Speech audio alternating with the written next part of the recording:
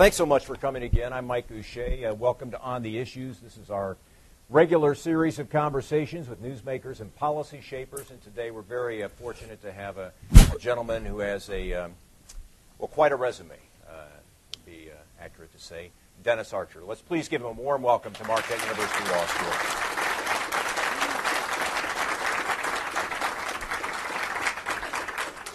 Uh, the gentleman next to me has has really a remarkable uh, list of accomplishments. But you began as a school teacher, right? Yes. Yeah, in, in Detroit.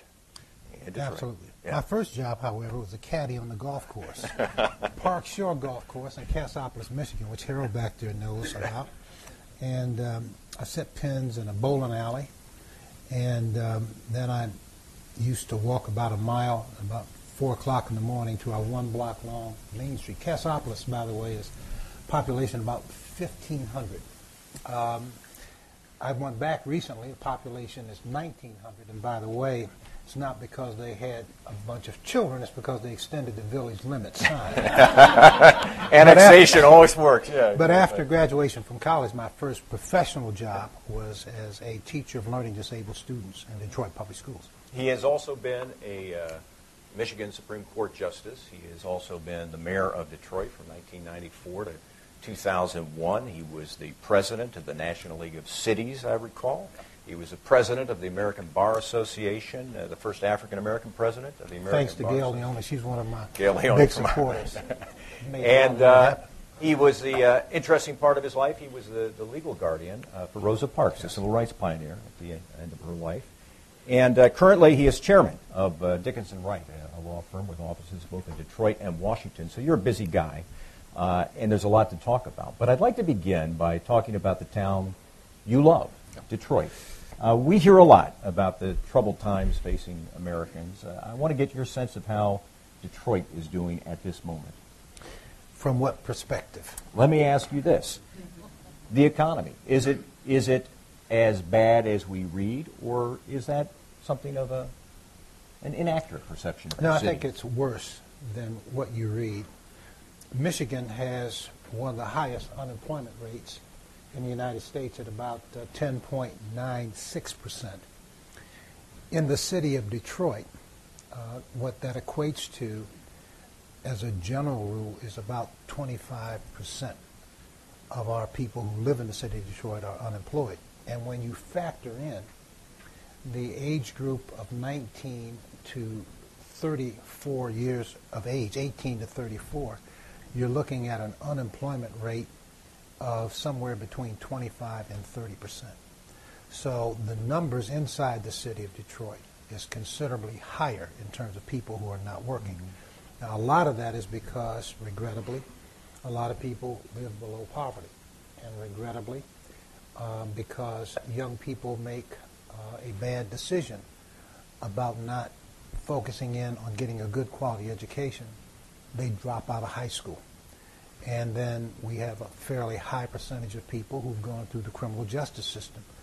And in times like these, when you're competing for a job and someone has a criminal record and someone doesn't, the person who doesn't have the criminal record is likely to get the job or a better opportunity than one who doesn't.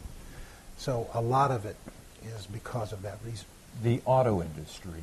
Um, there, there's a lot of debate in our country about what should be done about the auto industry and, and, and what would happen if a, a Chrysler were to fail or a GM filed for bankruptcy. Um, how precarious is the situation for Detroit with the existing industry, with the automobile industry? Well, first of all, let me just say up front, I'm a Democrat. And having said that, when you take a look at what occurred in 2001, after the horrific loss of life and the attack on our country, people just came to a standstill. People were afraid to fly. No one was buying anything big. Las Vegas, New Orleans, a great city, wonderful restaurants. Nobody was going. In an industry that you would think would be reasonably safe hotels, service industries, casinos, etc. Everybody was taking a real big hit. And just before 9 11, you might recall where Daimler Chrysler said that they were going to lose some 26,000 men and women. And as a result of that, 20,000 by retirement and another 6,000 by buyout and by way of attrition. And they were just coming out of that. And where Montgomery Ward went out of business and Kmart, another Michigan company, was having its struggles. Seemingly everything was coming out. Then 9 11 hit, and then everything came to a standstill.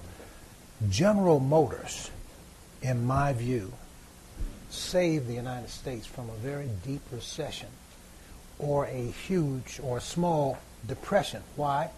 because what they decided to do was to go to zero financing for their cars and trucks. Ford and Chrysler followed suit. And then other retailers said, you know, that's a good idea. Let's reduce this. Let's make it available for people to buy and make it easier. And so people start buying again and the economy went. When Chrysler, Ford, and General Motors started experiencing the challenges uh, that gave rise to a request for a bridge loan, they tried desperately to meet with the President of the United States. It was not until President Bush was in his eighth year of office did he meet with the big three. Senator John McCain came out of that same um, sense of let the uh, marketplace uh, decide what's best. And so I think uh, the automobile industry clearly is going to turn itself around. And I think President Obama has a better sense of what it means if Chrysler, Ford, or General Motors were to go into, in this case, Chrysler or General Motors, either one would go into bankruptcy. And here's what I mean. We've got a number of tier one automobile suppliers who are really on the bubble. A couple of weeks ago, for example, Visteon had a $16 million check that had to be written to cover um, the interest or whatever was on some bonds. And they're, um, they were being delisted or were delisted from the New York Stock Exchange because their stock was less than a dollar.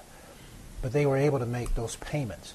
And what I'm reading in the paper now is that the task force that President Obama has in play is going to be taking a look at the um, other uh, tier one two, and three uh, suppliers to the automobile industry. Where I think Senator Shelby and uh, Corker are misplaced in their thoughts is that because they've got uh, Mercedes, perhaps BMW, Nissan, Honda, Toyota in their respective states, that they're okay. But the reality of it is, uh, Mike, when you think about it, is that if one of the tier one automobile suppliers happen to go under, it will impact the supplies and the parts that uh, the other uh, that I just named, Mercedes, Mercedes-Benz, Honda, Toyota, they're all going to be impacted. And by the way, when you read about car dealerships, uh, both uh, General Motors and Chrysler, as well as Ford, looking at how they're going to reduce the number of dealerships, there are 14,000 dealerships uh, with connected to the automotive big three. They